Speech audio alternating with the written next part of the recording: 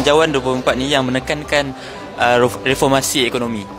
Pada saya ia merupakan satu belanjawan yang sangat berani yang dibentangkan oleh Yang Amat Berhormat Perdana Menteri Malaysia yang juga merupakan Menteri Kewangan yang mana sasarannya adalah untuk membantu golongan ataupun masyarakat uh, apa ni yang yang golongan masyarakat yang berada pada uh, apa ni golongan bawah dan juga sederhana lah yang saya lihat tadi dan uh, subsidi bersasar yang akan dikenakan oleh pihak kerajaan hari ini dan uh, subsidi ini sudah tentulah kita akan uh, khususkan kepada mereka untuk uh, masyarakat yang berada pada paras bawah dan juga sederhana.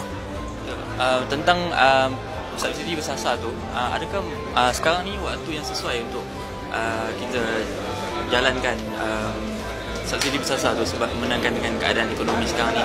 Adakah rakyat akan ada yang membantah dan setuju sebab tadi disebutkan oleh Yang Amat Berhormat uh, Perdana Menteri ada lebih kurang 3.5 maksudnya warga asing yang menerima subsidi daripada pihak uh, kerajaan dan juga mereka yang berpendapatan tinggi.